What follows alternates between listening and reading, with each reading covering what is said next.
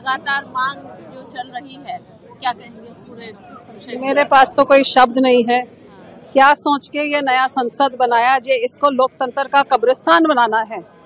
जो पार्टी खुद कहती थी, जेटली जी, सुषमा जी खुद कहते थे कि disruption is a part of dissent अब जब कुछ चीज़ की चर्चा करना चाहते हैं और सुनवाई नहीं कर रही है सत्ता पक्ष तो फिर शोर मचाने के अलावा हल क्या है? अब आपने सारे विपक्ष को निकाल के बाहर फेंक दिया।